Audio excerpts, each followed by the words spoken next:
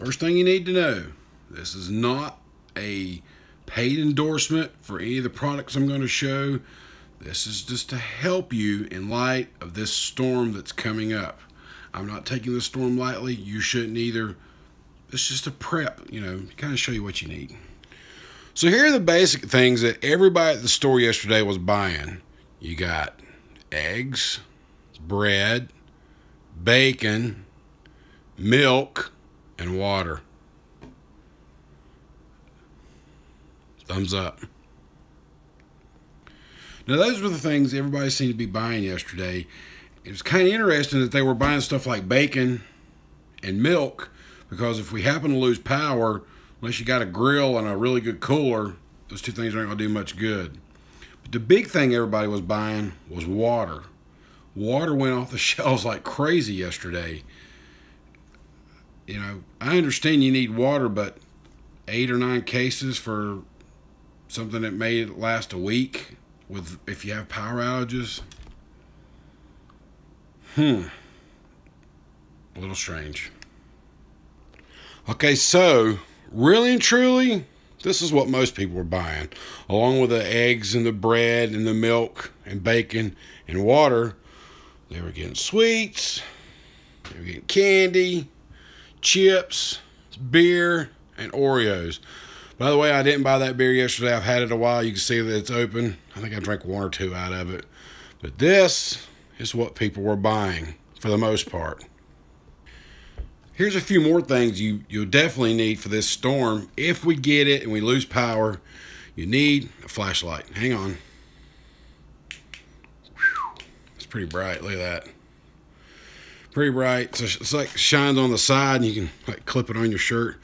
And if you get bored and you got animals, it's got a laser pointer too, so you could aggravate the animals. Candles, definitely a must with a lighter. We're not gonna light that candle.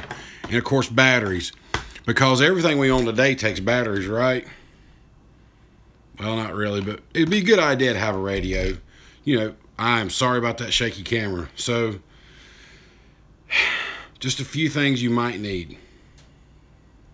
Now you ask me, why are you showing all this? We know what we need. The news has told us for a week that what we need are these basic essentials. And I agree. You do need to have a, a plan together. You need to be thinking about it, what you need. And of course, the most important thing everybody's getting is bottled water. Here's something you may not know. Now, if you have well water, it's a very good possibility you need this bottled water. If your power goes out, you can't draw well water from the well. If you have city water, it's a 95% chance that your local municipality that sells you water has backup generators at where they suck the water from, like out of a lake or something, because they don't want to lose water pressure either it's really hard if they absolutely lose all their power and their water down there. It's kind of hard to get it primed up. It's like you know sucking water through a garden hose, or you know like stealing gas out of a car. You know how you got to suck through the anyway. So most likely you're gonna still have water. Yeah, you may have to drink it out of the tap. It's not gonna hurt you. Now, why are people around here kind of going crazy with this? Well, first and foremost, this is a very powerful storm. Uh, and it's huge. I mean, it's only gone back down to a category four as of this morning. The track has shifted a little bit more towards the west, so Western North Carolina, where I'm at, may not get a real big impact. Of course, that could change tomorrow. Well, let me rephrase that. It's a Cat 4. The news doesn't like to say Category 4 or Category 5. I guess it sounds cooler to say Cat 4 or Cat 5. I don't know. I'm not a professional weatherman, and I'm definitely not an anchor man. But anyhow, that's what they like to say. And I'm going to tell you why I think a lot of people, especially here in Western North Carolina, are taking this storm very seriously. Way back about 28 years ago, on the morning of September the 21st, 1989, a Cat 4 storm named Hugo made landfall just north of Charleston on Sullivan's Island. Now, this storm sort of took the same track as Irma's taking. It came through the bottom part of the Atlantic, around the, the islands, the Caribbean islands and stuff, and it actually weakened all the way back down to a Cat 2. And then when it got back out into open waters before making landfall in South Carolina, it got back to a Cat 4. So it was pretty powerful when it made impact there close to Charleston. But what it did was when it made impact, it just kept going inland. It didn't bounce off and go back out in the ocean. This thing came inland, and it wound up coming right over western North Carolina where I lived at the time in Hickory. The eye did, actually. Um, my sister and her family lives in Charleston, South Carolina, and we went and got them and brought them back to Hickory so they would be out of the you know path of this powerful storm. Well, it just followed them all the way up here. So I remember that morning. I mean, it hit there very early in the morning in, in Sullivan's Island. By the time it got to us, it was around 7:30, 8 o'clock that morning, that Friday morning. Well, nobody will ever forget it. If you were here, and you were alive, and you, you you know you remember that storm. I mean, Hickory was devastated. There was trees down everywhere. There was homes tore up. There was no power. I mean, it was crazy. Nobody expected this storm to do what it did.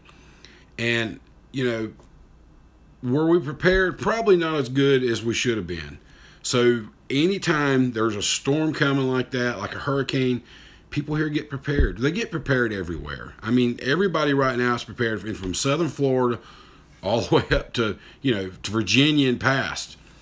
Because this is a big storm. This is a Cat 4. It has been a Cat 5 for a while.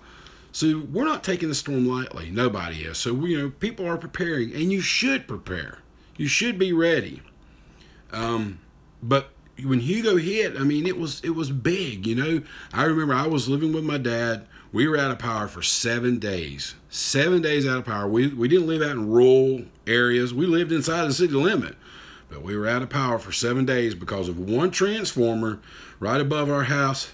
A tree limb knocked it out and it was just kind of low priority. You know, we were on a dead end.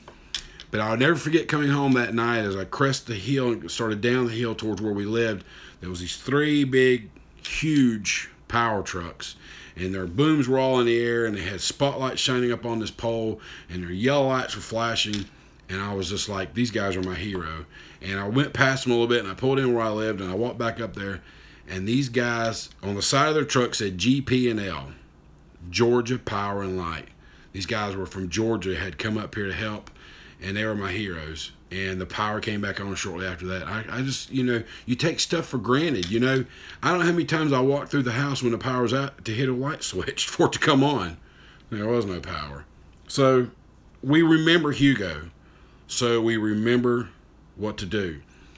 And, um, you know, I, am having problems with my storage on my phone. If, if I did something there kind of freaky, I had to push a button. But anyway, don't take the storm lightly. You know, definitely, definitely, definitely those the, the folks in Florida who are going to really get the brunt of the storm, and the folks who've already took the brunt of the storm in the Caribbean. Pray for those people. I mean, it was devastating. Some of those islands were devastated by this this really big storm so, you know, pray for them, pray for the people of Florida, pray for everybody who's in the path of this storm. Like I said, as of this morning, the storm had shifted a little bit to the west. Now they're saying, you know, it's going to go through Georgia and then into Tennessee. West North Carolina may only get some rain and some wind, but not the brunt of it. But that could change by this afternoon. It could change tomorrow. Who knows? It's just the way it is. So, you know, be storm ready, as the news says. Be storm ready. Be aware. And you know what? If if if your power goes out and you got, whoops, you got candles, you got flashlights, and God knows you got plenty of water, you know, sit around the table, you know, light some candles, play a board game. Play a board game with your family. Or, you know, if you're with somebody that you really like, you can light some candles. You know, a little Boom chicka wow.